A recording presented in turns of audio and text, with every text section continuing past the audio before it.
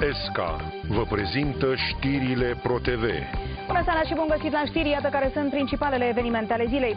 În timp ce jumătate de țară este sub cod galben de vreme extremă, ploile și bijeliile au stăvit deja teroare. Râurile au ieșit din mască, casele au rămas în beznă, iar vântul a secerat numeroși copaci.